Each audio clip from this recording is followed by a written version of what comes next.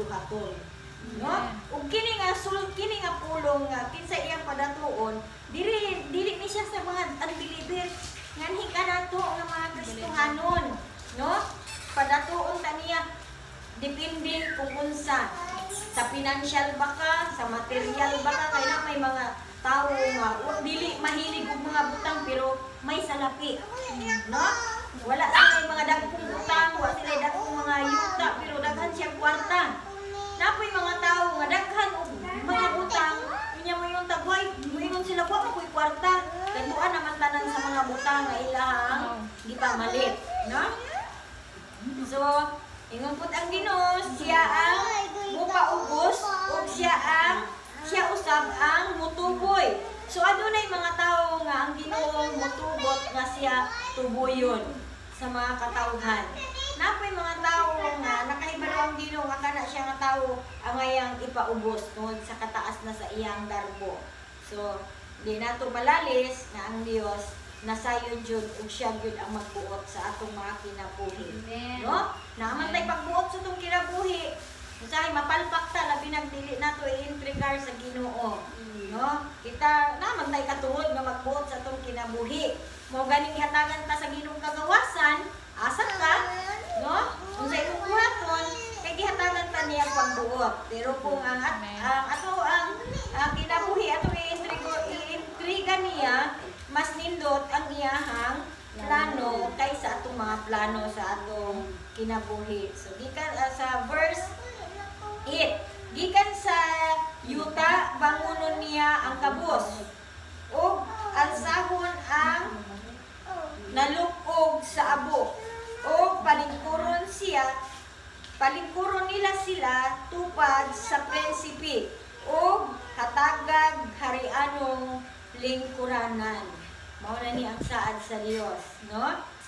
Kinsa tong mga tawo nga gikan sa yuta bangunon niya gikan sa pagka kabos no? Kabos sa balaang espiritu no? Mga butang espirituhanon mao ni siya ang pasabot diri. Katuni mga kabos sa espirituhanong mga butang. Iya unyang bangunon no? Unya alsahon niya katong mga tawo nga nalukog na. Diha sa abo kadang murag uh, down down to earth siya ba nga pagkatawo? No? Iya na siyang bangunon pagkahuman humanyag bangon palingkuron niya kaning mga katawhan tupad sa prinsipe. Kinsa man ang prinsipe? Ang atong buhi nga Dios. No? Ang atong buhi nga Dios nga maoy maghatag kanatong harianong lingkuranan. Kinsa man po'y gustong mulingkod tupad sa hari Kita. kita. No hanagan ka tong uban. Nangandoy man gyud tang makauban ako ang Ginoo. Ni so sa umaabot ang mga adlaw tupad jud ta sa atong buhi nga Dios no? Tupad jud ta niya. Wa man siya mag-ingon nga dalon ta lang mo dito sa langit ug no? Ang iyaha tupad jud sa ah, tupad jud niya green kuranan kay iya man sa Ginoo ang mga patukuranan sa kalibutan.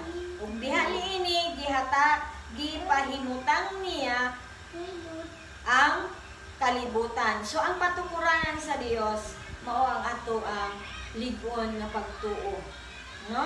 Ligon nga pagsalig ngadto kaniya no? Ligon nga kanang baruganan nga makabarog gyud ta bisan daghang mga pagsulay kung tinasayod man ka nga.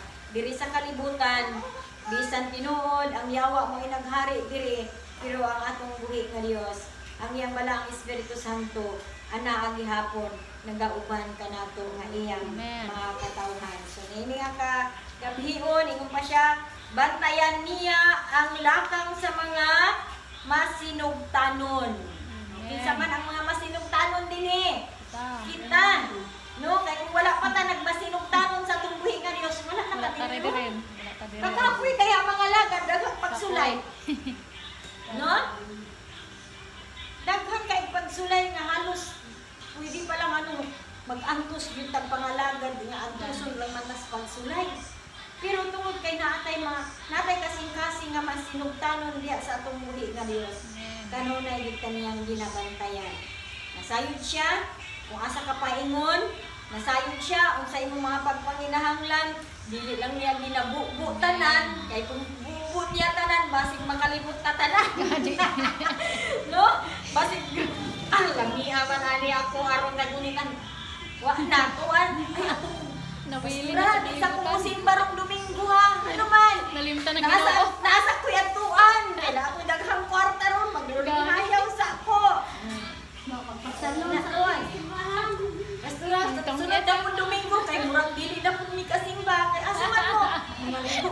Sin, Dagat.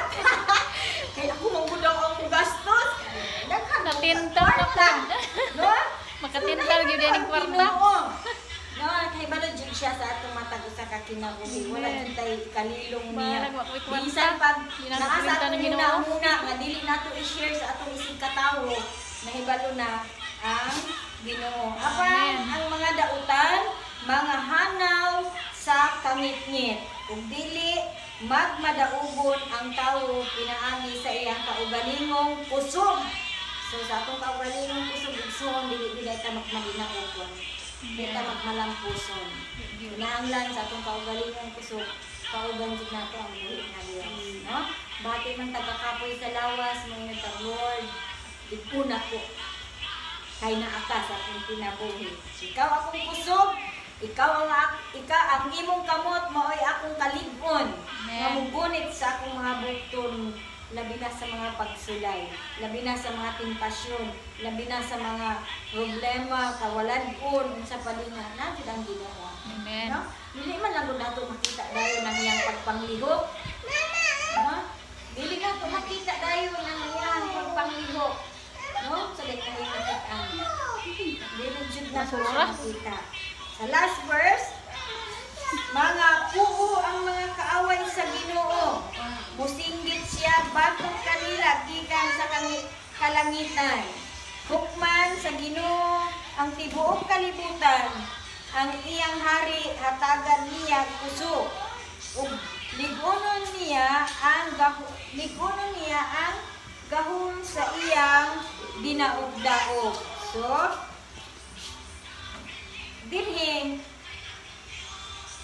Ingo na, last, ato sa gabi na nagwali diya sa Eagles, mahitungod sa mga sa mga panghitabo karon sa kalibutan. Nga ano, kay na daw na utana sa iya nga, ang Ginoo ba diy'y nagtugot sa gira? Siguro ako kabasa sa Biblia. Siyempre. Ang Ginoo ba nagtugot sa baha? Sa linog? Ang ginoo gyud sa kuan? Kanang mga panghitabo ba nga mga sakit karon? Bitaw ba na nagtugot ana? Di siyempre, gitubag daw siya sa pastora igsoon. Kanang tanan nga nagapanghitabo sa kalibutan.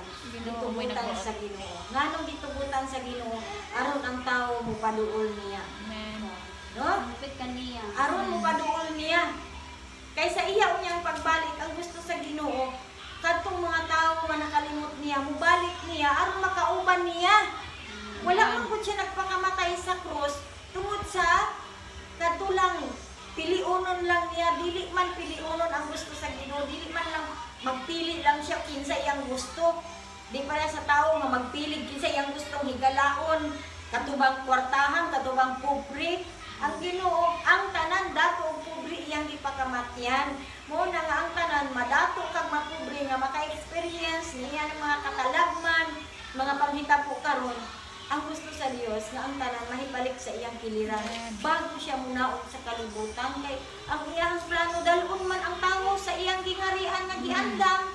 No sa puloy-anan niya giandam wala man siya wala man nagbuhat ang Dios ang amahan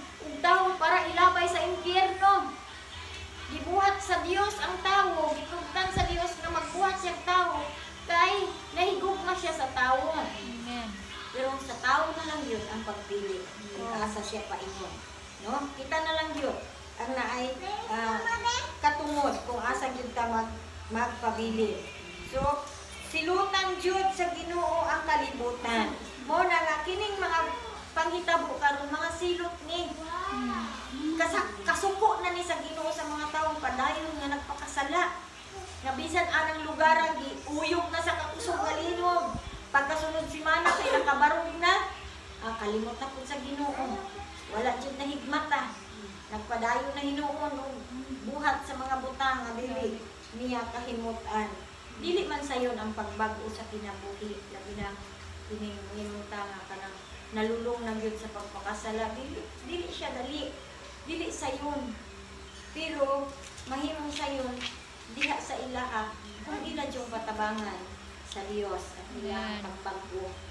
Dili man gyud ta mabago. Tama man po si Brad nga ang tao dili mabago kung dili siya mismo Mm. ang magbago sa iyang kaugalingon. Amen. Tama si Brad yun. Nga bisag kung saan ni mong ampo daw ng tauhan na kung dili gyud siya gusto mo bago, dili gyud siya mabago. No? Pero nahibalo ang Ginoo nga moabot ang time nga mausab ra gyud siya. Mo